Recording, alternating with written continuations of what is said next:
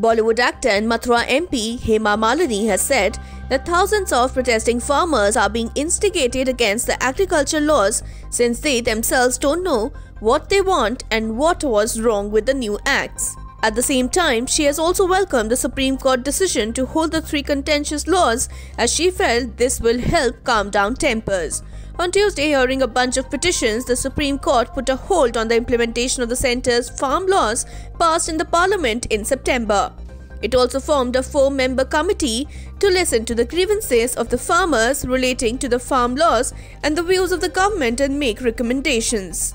Hema Malini also condemned the vandalization of over 1500 Reliance Jio Telecom towers in Punjab by protesting farmers who allege that companies like Reliance Industries are likely to be the ultimate beneficiaries of the three laws.